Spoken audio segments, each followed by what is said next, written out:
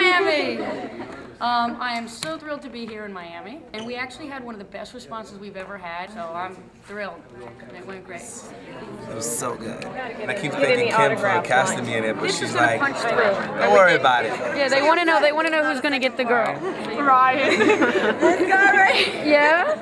I thought it was very educational because I didn't know really anything about it. I didn't even know the term stop loss.